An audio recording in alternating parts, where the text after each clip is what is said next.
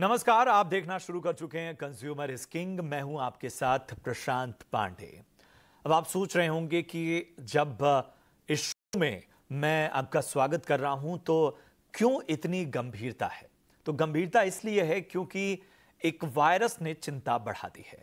हालाँकि ये वायरस हमारे देश के दक्षिणी राज्य केरल में पाया गया और वहाँ पर इसने मुसीबतें पैदा की हैं, लेकिन लगातार केरल को जिस तरह से इस वायरस ने परेशान किया है, वो अपने आप में चिंता का सबब है। और जब भी आज के दौर में, चूँकि हम एक ऐसी पॉपुलेशन बन चुके हैं जिसकी कनेक्टिविटी, जिसका ट्रांस ट्रांसमिशन, ये सब बढ़ता जा रहा है और हमने कोविड में भी देखा है किस तरह से कोई बीमारी जब शुरू होती है और वो किस तरह से बड़ा रूप ले लेती है। इस वजह से केरल में नीपा का मिलना एक चिंताजनक स्थिति बना रहा है। हालाँकि आधा दर्जन से ज़्यादा लोग इस वक्त संक्रमित हैं। कई लोगों की मौत हो चुकी है।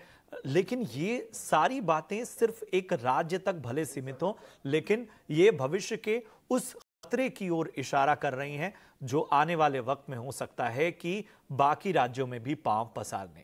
तो आखिर नीपा है क्या? और क्यों केरल में इसका बार बार संक्रमण बढ़ता जा रहा है और इसे एक तरह से समझ लीजिए कि आज जो शो हम करने वाले हैं, ये एक तरह का आपको हमारा मकसद डराना नहीं है, बल्कि जागरूक करना है, आपको इन्फॉर्म्ड रखना है, इसलिए हम ये शो कर रहे हैं। और कोई भी बीमारी हो, कोई वायरस हो, कोई संक्रमण हो तो सबसे ज़रूरी है उसके बारे में ज़्यादा से ज़्यादा मालूम और कंज्यूमर स्किंग में चूँकि आप दर्शकों का हमें ख्याल है, इसलिए आज हम इसी पर चर्चा करेंगे। कुछ आंकड़े मैं बता दूँ जो ये वायरस है, उसमें सात ग्राम पंचायतें हैं जिन्हें फ़िलहाल कंटेनमेंट जोन बनाया गया है।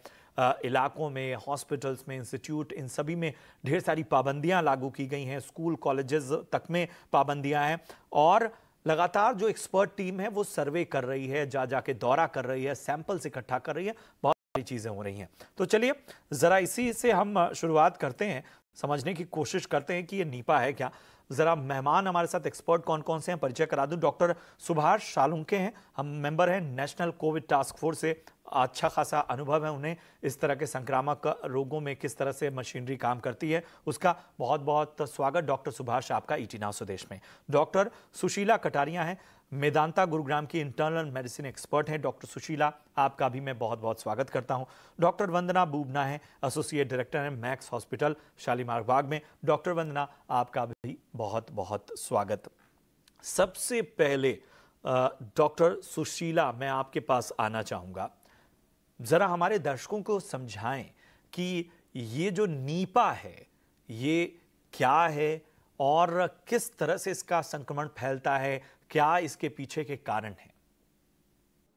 सो so, निपा एक आरएनए कैटेगरी का वायरस है और अब कोविड के बाद सब लोग जान ही गए हैं कि वायरस में एक अंदरूनी आरएनए या डीएनए का मटेरियल है जिससे उसकी इंफॉर्मेशन पास होती है और बाहर का एक खोल होता है जिसमें होते हैं प्रोटीन्स सो so, जो नीपा का है उसमें अंदर आरएनए का आरएनए है और उसके बाहर जो प्रोटीन खोल है उसमें छह इंपॉर्टेंट प्रोटीन्स होते हैं। ये जो इन्फेक्शन है, पहली बार 1999 में मलेशिया में डिटेक्ट हुआ था पिग फार्मर्स में मतलब जो पिग्स की फ़ार्मिंग करते हैं उनमें।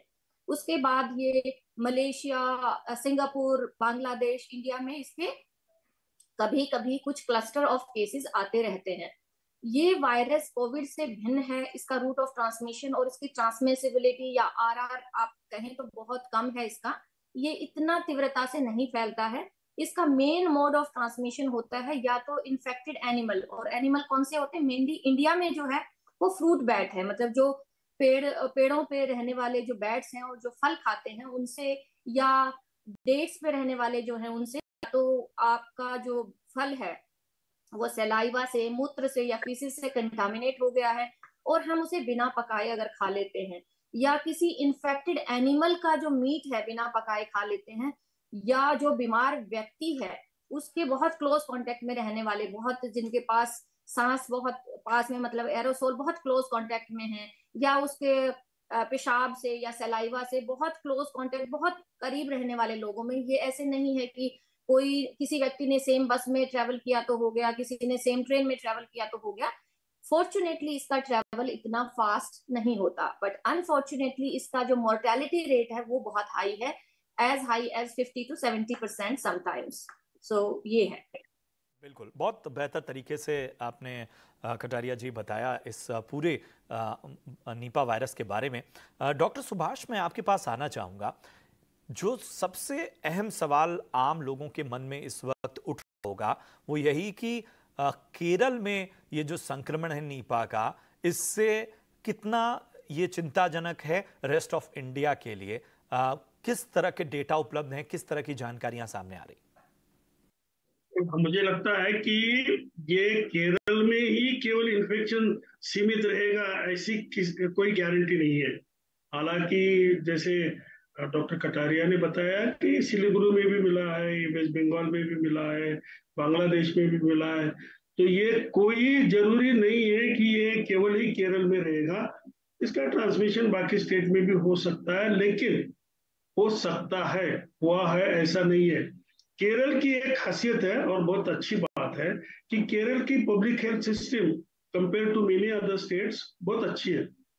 और उन्होंने उसको काफ़ी, इसके पहले भी जितने आउटब्रेक हुए थे, उसको जल्दी उन्होंने, उनकी सर्विलेंस सिस्टम अच्छी होने की वजह से जल्दी उसको पकड़ लिया कि भाई यस ये वायरल डिज़ीज़ है, ये निपा है, और उसके बाद में उसकी जो फॉलोअप एक्शन है, वो उस स्टेट ने अच्छी की है।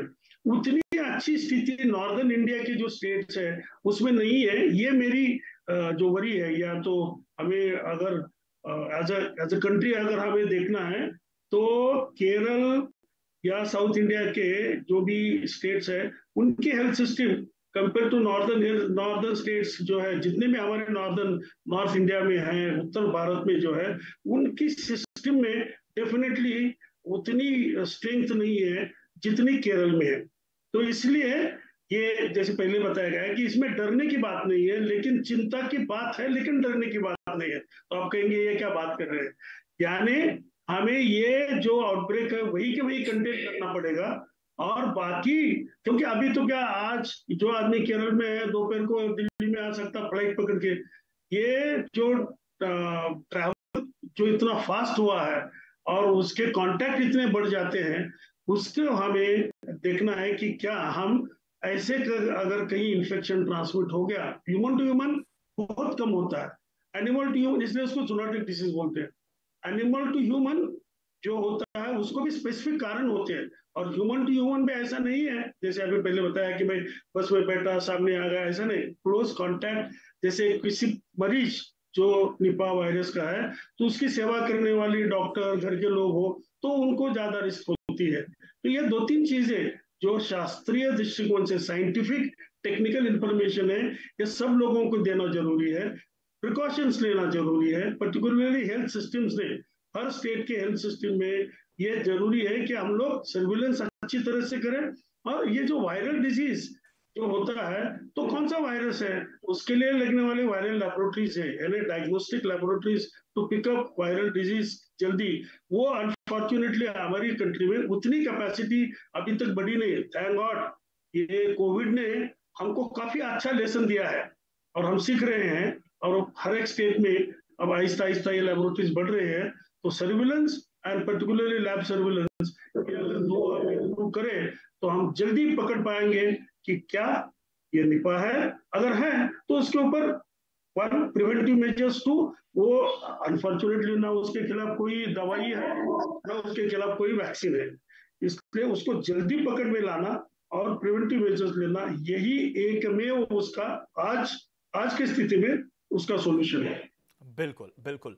और यही वजह है, जैसा डॉक्टर सुभाष ने ज़िक्र किया केरल का और हमने ये देखा है कि केरल में जब इससे पहले भी नीपा के आउटब्रेक हुए हैं तो उनकी जो उनकी जो लोकल मशीनरी है, उनके, उनकी जो डिस्ट्रिक्ट मशीनरी है, वो भी बहुत इफेक्टिवली काम करती हुई नज़र आई और यही वजह है कि उन्होंने इसे हर बार जो है वो कंट्रोल किया। हालाँकि पहले आउटब्रेक में बहुत बहुत मुश्किलें हुई थी जो जानकारियाँ सामने आई थी, उसमें बहुत सारे जो मेडिकल प्रोफेशनल्स थे मेडिकल स्टूडेंट्स थे उन तक को इस वायरस ने प्रभावित किया था। लेकिन उस चीज़ से आगे बढ़ते हुए उन्होंने इस आउटब्रेक को हमेशा थामने की कोशिश की, अभी भी कर रहे हैं। डॉक्टर वंदना, मैं आपके पास आना चाहूँगा। ज़रा हमें बताएँ कि क्या होता है? किसी शख्स को जब नीपा होता है तो क्या तकलीफ़ होती है उसके शरीर में? और ये शुरुआती स्थिति से लेके इसके गंभीर होने तक में शरीर में क्या बदलाव होते हैं और किस किस तरह के खतरे होते हैं? निपा वायरस जो डिज़ीज़ है, जैसा कि अभी सबने बात की, ऐसे बहुत रैपिडली स्प्रेड तो नहीं करता है, लेकिन जिसको स्प्रेड करता है ह्यूमन टू ह्यूमन अगर ट्रांसमिशन शुरू हो जाता है तो पर्सन एसिम्टोमेटिक भी रह सकते हैं। उनको इम्पैक्ट तो हो गया वायरस भी आ गया, लेकिन हो सकता है कोई सिम्टम ही डेवलप ना हो। लेकिन माइल्ड सिम्टम्स भी हो सकते हैं, जैसे फ्लू लाइक फीवर हो रहा है कॉफ हो रहा है, बदन में दर्द हो रहा है, सिर दर्द हो रहा है, बहुत ज़्यादा उठने का मन नहीं कर रहा है, गले में दर्द हो रहा है, इस तरह के एक फ्लू लाइक सिम्टम्स शुरू में डेवलप होते हैं। और ज़्यादा हम अगर आगे बढ़ते हैं तो लंग को इन्वॉल्व करता है तो फिर खांसी हो सकती है सांस फूल सकता है। और एक बहुत वाइटल ऑर्गन हमारा ब्रेन है अगर ये इसको इन्वॉल्व करता है जिसमें जिसको कि हम इनकेफेलाइटिस कहते हैं तब उस समय हमें वॉमिटिंग्स बुखार बहुत सीरियस सर दर्द हो रहा है। देन जो पर्सन है वो ड्राउजी हो सकते हैं कोमेटोज हो सकते हैं मतलब कि बेहोशी आ रही है उठा नहीं जा रहा है। और फिर उनको एनकेफेलाइटिस की वजह से बॉडी का सिस्टम जो होता है, वो स्लो और फिर धीरे धीरे धीरे धीरे कोलैप्स कर सकता है। सो सिंपल फ्लू सांस की बीमारी और ब्रेन फीवर ये तीन जो है, ये मोस्ट कॉमन इनके सिम्टम्स होते हैं और उससे ही रिलेटेड वो सिम्टम्स उनको डेवलप होते हैं। अगर वो ब्रेन को इन्वॉल्व कर लेता है तो मोर्टालिटी पक्की होती है। इसलिए ये इतना डेडली है क्योंकि इसका ब्रेन फीवर और एनकेफेलाइटिस से डेथ रेट है, वो कंपैरेटिवली वेरी वेरी हाई है। एज डॉक्टर सुशीला ने भी बताया है कि मोर्टालिटी 70 परसेंट तक जा सकती है।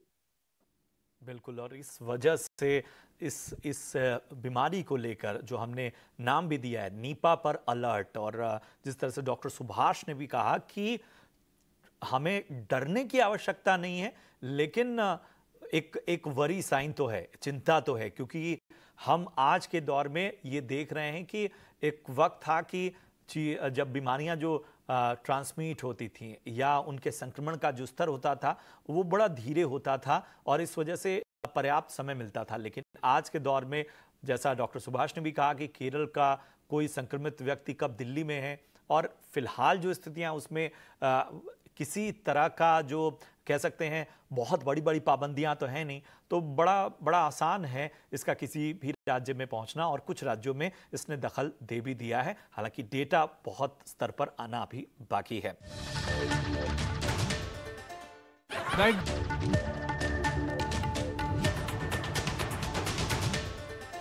डॉक्टर कटारिया एक चीज़ मैं आपसे समझना चाहूँगा कि जैसा डॉक्टर सुभाष ने कहा कि इसकी दवाई या वैक्सीन नहीं है। तो फिर इलाज का तरीका क्या है? और क्या ये जो जब इस तरह की बीमारियाँ, इसका जो मेडिकल प्रोटोकॉल है आप जैसे बड़े बड़े अस्पतालों से जुड़े और एक्सपर्ट डॉक्टर तो अपना दायरा बढ़ा के चीज़ों को समझते, पढ़ते और इंफॉर्मेशन एक्सचेंज का सहारा लेके करते हैं। लेकिन भारत में बहुत सारे इलाके हैं दूर दराज के जहाँ तक क्या नीपा जैस के रोकथाम का मेडिकल प्रोटोकॉल पहुँचना एक चुनौती नहीं है? देखिए जब नीपा वायरस का संक्रमण होता है तो उसका इलाज पहला इलाज तो ये है कि सस्पेक्ट करना और उसे डायग्नोज करना कि किस एरिया से आया है किस तरह के हैं घर परिवार में कोई और बीमार तो नहीं है काम क्या करते हैं आ, कोई आ, ऐसी चीज़ तो नहीं खाई जो अनकुक नहीं थी। तो पहला इलाज शुरू होता है जब आप सस्पेक्ट करते हो फिर आप प्रॉपर सैंपल्स भेजते हो थ्रोट के या ब्लड के जिससे डिटेक्शन होता है।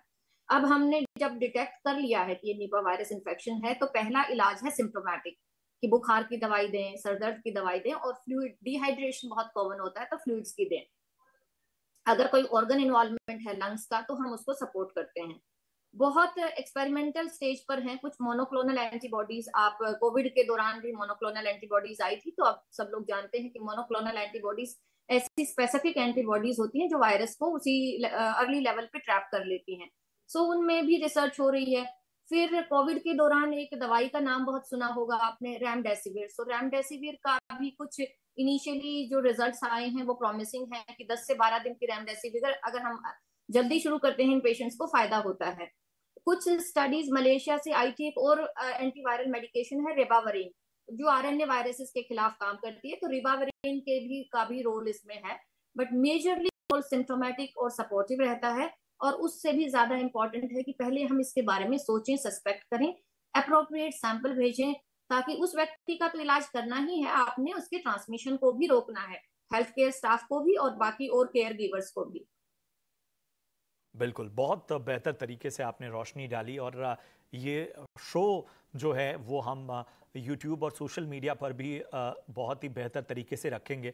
तो मेरे ख्याल से और ज़्यादा जानकारी लोगों तक पहुंचेगी। और हमारे साथ आज जो एक्सपर्ट का पैनल है, वो वो बहुत साउंड पैनल है। उनकी एक एक बात आपको ध्यान से सुननी चाहिए। डॉक्टर सुभाष जो सवाल मेरा डॉक्टर कटारिया से था, वही सवाल मेरा आपसे है कि हम कोरोना के साथ तो वक्त के साथ मेडिकल प्रोटोकॉल बदलते गए, बहुत सारी चीज़ों में जागरूकता आई। उसको लेके तो हम एक तरह से कह सकते हैं कि हम थोड़े मज़बूत स्थिति में हैं। नीपा बड़े बड़े अस्पताल बड़े बड़े एक्सपर्ट उनके पास इंफॉर्मेशन का एक्सचेंज है और वो तो एक बेहतर तरीके से इसकी रोकथाम कर सकते हैं। लेकिन भारत में भी बहुत बड़ा हिस्सा दूर दराज के इलाके, जहाँ पर इसे लेकर मेडिकल प्रोटोकॉल नहीं है। इसे एक बड़ी चुनौती मानते हैं आप?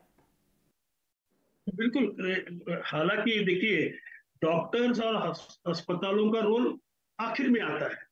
हमारे पास क्या होना चाहिए एज अ कंट्री ये डिज़ीज़ जहाँ है, उस एरिया की जानकारी हमको पहली होना बहुत ज़रूरी है और उसके लिए वन हेल्थ आज हमारे देश की एक स्थिति विचित्र सी स्थिति है। हम पूरा डॉक्टर्स के ऊपर डिपेंड रहे हैं। अभी तक जो भी आप देखेंगे तो पब्लिक हेल्थ पीछे रहेगा बीमार हो गया दुरुस्त करो। अरे भाई, बीमार न हो, उसके लिए कुछ करो ना। और उसके लिए हमारी पूरी हेल्थ सिस्टम में वेटरनरी साइंस ये जोनोटिक डिज़ीज़ है। यानी एनिमल्स बैट से जब पिक तक होता है बैट से आदमी तक जाता है तो ये जोनोटिक डिज़ीज़ है। उसका किसी ने किया आज तक। अभी स्टडी हो रहा है। तो पूरी पब्लिक हेल्थ सिस्टम अगर हम स्ट्रॉन्ग करेंगे और कौन सी एरिया में बैट पॉपुलेशन है, या फ्रूट ईटिंग बैट्स है, उनके पास से या पिग अगर वहाँ पिगरी होती है तो वो ट्रांसमिशन की प्रोबेबिलिटी है। ये सब जानकारी हर डिस्ट्रिक्ट में। चाहे तो इवन ब्लॉक लेवल तक अगर हम करके उसमें मॉनिटरिंग करें सर्विलेंस करें वायरल लेबोरेटरीज ठीक तरह से हर स्टेट में अच्छी तरह से डायग्नोस्टिक कैपेसिटी के बने B S L three four वगैरह वगैरह। तो यह डॉक्टर लोगों को तकलीफ़ देने की ज़रूरत नहीं। किंतु ये बात पक्की है कि क्लिनिकल स्टैंडर्ड ट्रीटमेंट प्रोटोकॉल जैसे हमने कोविड में डेवलप किए वैसे इसके ऑलरेडी जैसे अभी डॉक्टर साहब ने बताया, कि तो symptomatic therapy as and when monoclonal antibodies आ जाएँगे रेमडेसिविर का स्टडी होगा वगैरह वगैरह। आज तो पूरा असिम्टोम सिम्टोमेटिक मैनेजमेंट करनी है। तो उसका standard treatment protocol for any viral disease where there is no specific vaccine और उसके लिए ऑलरेडी है। लेकिन ये तो बात पक्की है कि ये स्थिति हर डिस्ट्रिक्ट लेवल पे, जो डिस्ट्रिक्ट हॉस्पिटल है, वहाँ होगा। उसके बारे में हम कुछ गारंटी आज तो नहीं देते, लेकिन करना पड़ेगा।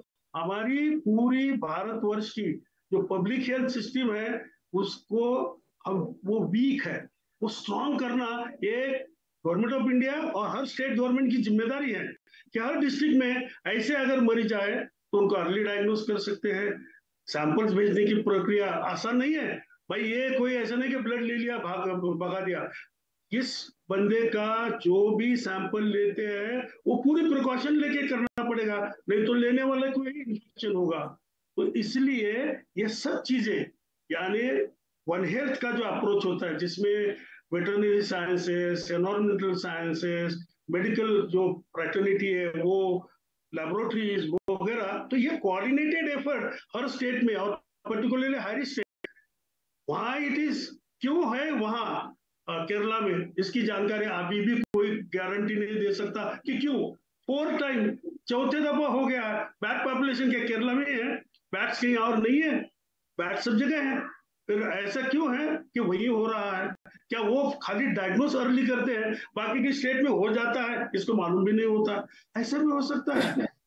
इसके लिए कैपेसिटी पब्लिक हेल्थ ये जो आज हमारी देश में हम बोलते रहते कि हमने बहुत अच्छा किया, हमने बहुत अच्छा किया। अरे बहुत करने के लिए जगह है। There is a scope for improvement वो पहले अप्रिशिएट करो और एक्सेप्ट करो। अगर वो हम करेंगे, क्योंकि ये आखिरी एपिसोड नहीं है। ये आउटब्रेक आखिरी नहीं है और निपा आखिरी नहीं है। निपा के बाद में और भी कोई आ सकता है। और ये जो अभी पैंडेमिक जो हुआ है हमारे पास। वो ज़रूरी नहीं कि that is end of the story एक साल, एक सौ साल के पहले हुआ और अभी नहीं होगा। गारंटी है कि होगा। कब होगा, मालूम नहीं। उसके लिए क्या हम तैयार हैं?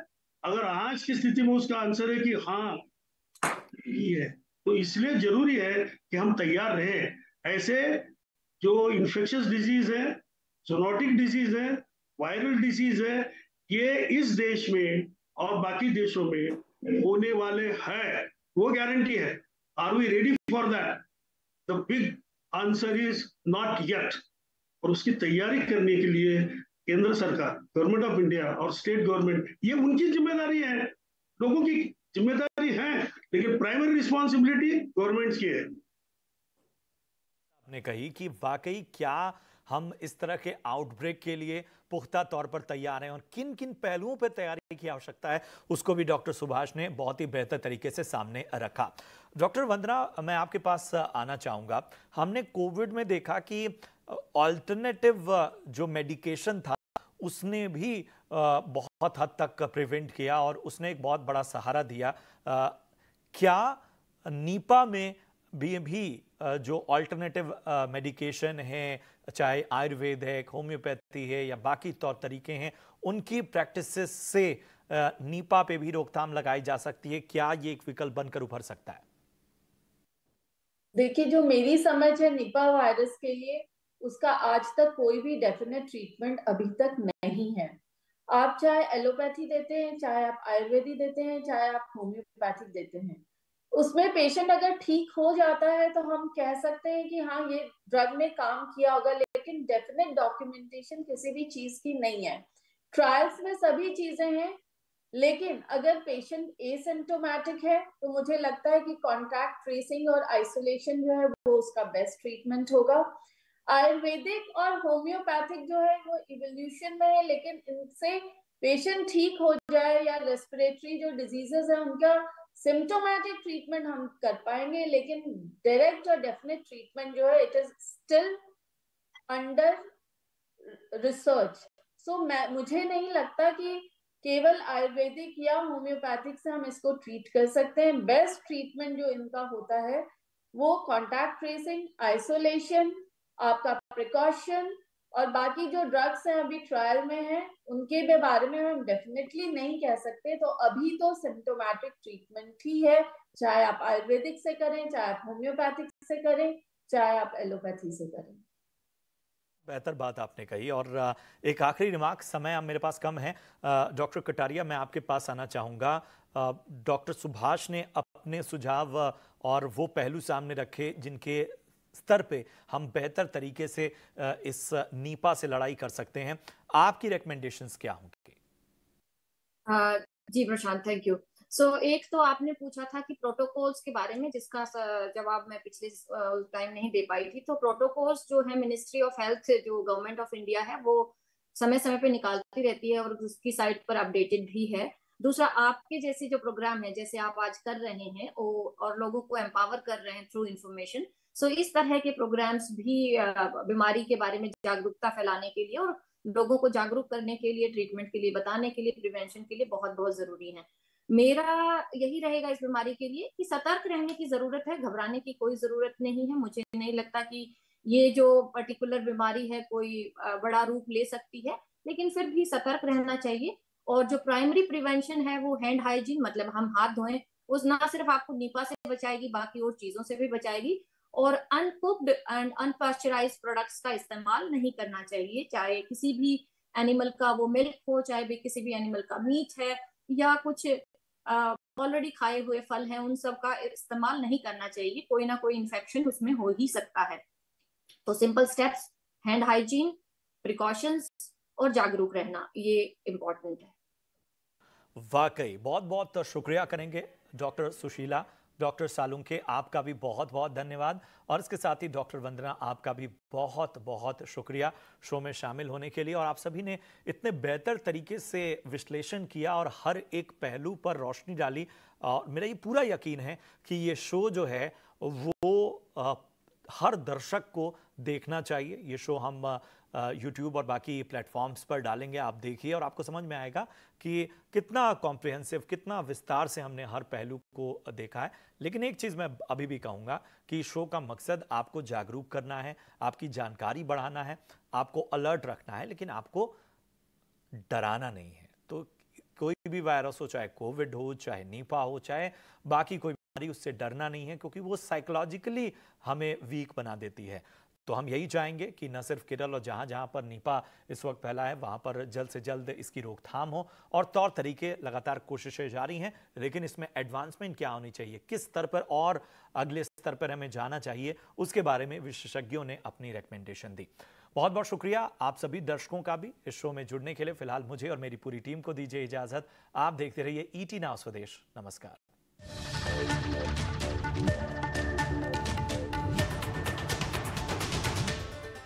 मैं सिक्योरिटी राजेश पालविया। मैं दूँगा आपको ऐसे ट्रेडिंग आइडियाज़ जो कराएँगे आपको।